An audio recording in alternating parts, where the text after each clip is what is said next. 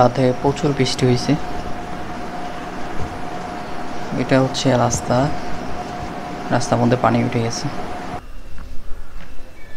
Welcome back to my channel last তিন থেকে চার মাস আমি বাড়িতে আছি। ব্যাচলর থাকতাম চিরয়ে। ব্যাচলর থাকাকালীন বাড়িতে আসতাম সপ্তাহে একদিন দুই দিন। সো এখন মোটামুটি বাড়িতেই আছি যত না পর্যন্ত এই ভাইরাস কাটে। এখানে ছাদ বাগান করে রাখছে আমার আব্বু। ওখানে একটা ড্রাগন গাছ আছে, যেতে পারি নাকি দেখি। পানি গেছে।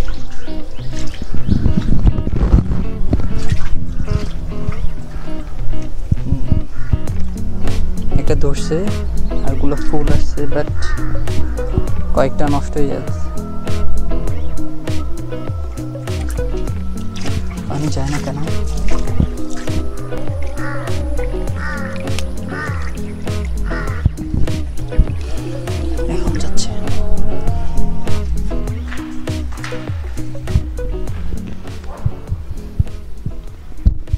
এটা হচ্ছে আমার রুম। এখন আপাতত আমি নিচে আছি। নিয়ে পরে আমার মতো করে করছিলাম এটা। ভাবছি এখানে একটা স্টুডিও করব। ইনশাল্লাহ প্ল্যানিং আছে। পরবর্তীতে ইনশাল্লাহ করব। রাস্তায় পানি ওঠাতে কিছু মাছ পাইছে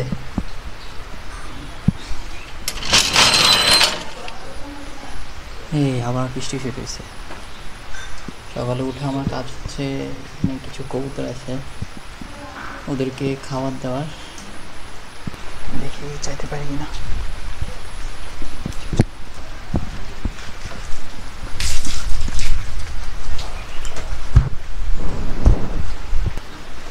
এটা হচ্ছে আমাদের ঘরের পিছনের সাইড এখানে প্রতিদিন আমাদের বিকালে বসা হয়। অ্যান্ড এদিকে হচ্ছে আমাদের আম বাগান, লিচু, মালটা, পেঁপে, সব ধরনের ফল গাছ হচ্ছে এখানে। এখন আছে আপনার চারটা কবুতর। এগুলো আনছে বেশি হচ্ছে না, দুই সপ্তাহর মতো হচ্ছে। সো এখন বাসছে টু ফিফটি নামাজ পড়ে খাওয়া দাওয়া করার পরে আসলাম। আমরা পঁচিশ তারিখ থেকে, মার্চের পঁচিশ তারিখ থেকে আমরা ঘরে নামাজ পড়তেছি। আমরা আগে সামনে পড়তাম, কাজিনরা মিলে আর চাচারা মিলে একসাথে পড়তাম এক মাস ধরে।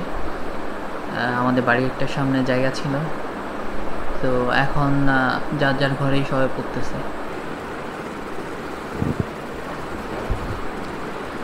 বাসার কথা বললে আব্বু, আম্মু ভাইয়া ভাবি আমি আমার দুইটা বোন দে আর ম্যারিড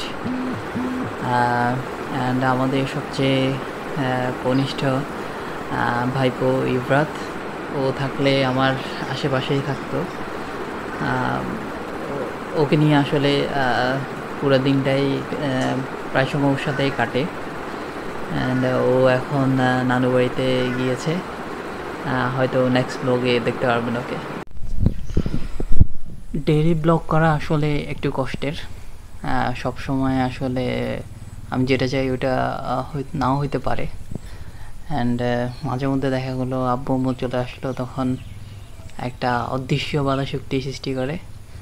হ্যাঁ মুখ দিয়ে আর কথা বেরোবে না। সো অনেক কিছু ডিপেন্ড করে।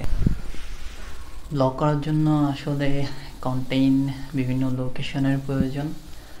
হ্যাঁ করোনা ভাইরাসের জন্য তো এটা আর পসিবল না।